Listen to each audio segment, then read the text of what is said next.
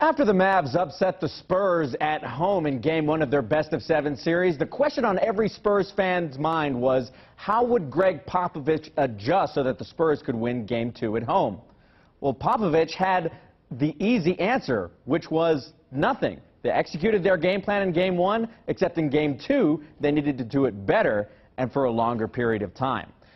The Texas Longhorns started the season as a top five team and a popular pick to reach the Final Four. But the Horns hit bottom with a road loss to Oklahoma last week.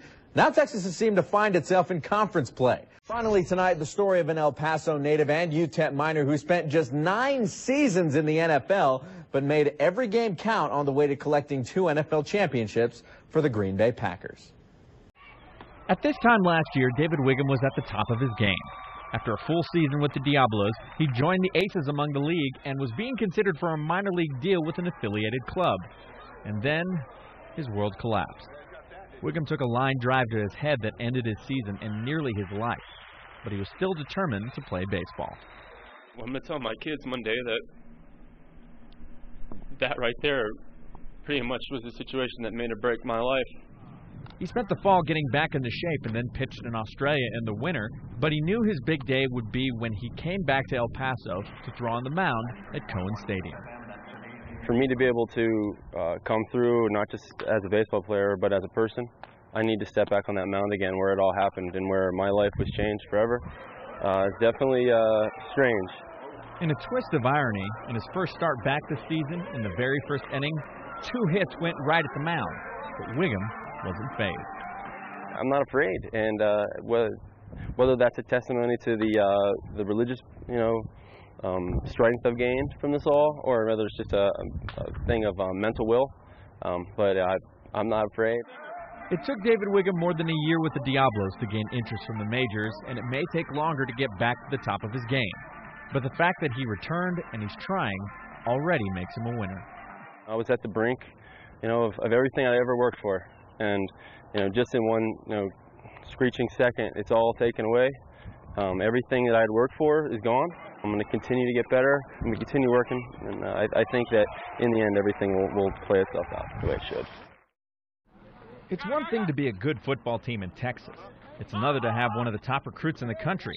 MJ McFarland will have a spotlight on him throughout his senior season as he prepares to play for the University of Texas, and he's already up to the challenge, getting bigger and faster even before Eldorado spring practice started. MJ's got a great uh, head on his shoulders, and he uh, he comes out here and he works hard every day. McFarland is just one reason the Aztecs are looking forward to the upcoming season. They have experience at just about every position on offense, and most of the defensive backfield will return for 2010. There's a lot more heart and energy on the team. If you want to see heart, just go to an Eldorado practice. The players go at each other like they're in midseason form. We just try to get the best out of each other because we don't want any excuse not to get win in DC next year. Off the field, we're all friends and everything. It's just on the field, we hate each other. And looking good in the spring has helped a lot of kids get recruited. With so many schools checking out McFarland this past year, others have stepped up to show their talent. I only can go to one college, so when other colleges come, it's good to have them see other players because other players put, in, put in much as work as I have. News Channel 9 Sports with Javi Perez. Have some breaking news to report. Bowie High School announced that tomorrow they will introduce a new head football coach to replace Luis Gallardo, who resigned earlier this year. News Channel 9 has learned that Robert Padilla, offensive coordinator for the Austin Panthers, will be named as Bowie's new head coach. And we are joined live in studio by the Bears' newest head coach, Robert Padilla. Coach, congratulations on the news, and we thank you for joining us. Thank you. Appreciate being here. Uh, Coach, tell us, uh, you went from being offensive coordinator at Austin to being named head coach at Bowie these past few weeks. How excited are you to be headed back to your alma mater? Uh, I'm very excited. I, I, I, appreciate the opportunity to get, uh, get back there and get some things done. Now, obviously, you helped run a very efficient offense, putting points on the board, going perfect in the regular season in district once again this season. Uh, what kind of challenge will it be to implement that system into a new school with new kids? It's, it's a challenge, but I think we can get it done. Uh, the kids are bright down there. Uh, there's no reason why we can't have the same success, uh, or at least try to equal the same success we've had at Austin before. Coach, obviously, the schedule hasn't been set yet, but Austin is scheduled to go to Bowie next season. Is that going to be a game that you're going to circle on your calendar when you know the date? Uh, it'll, I'll circle it only because I'll, I'll get to see some old faces, familiar faces, and I'll look forward to that. Uh, but there'll be a couple games before that we need to take care of before we get to that point.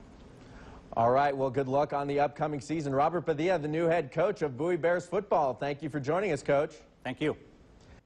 We'll finish off with a high school football player that somehow flew under the radar after rushing for 1,600 yards and scoring 43 touchdowns this season. But he's just now starting to turn some heads.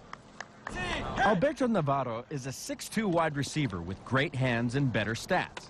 But he was one of the last players selected to play for the West All-Stars in Saturday's Senior All-Star Classic at the Sun Bowl. Why?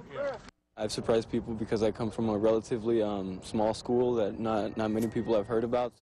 Navarro played for Emmanuel Christian High School, and all-star teams like this one are hesitant to take players like Navarro because they're worried about the kids being overmatched.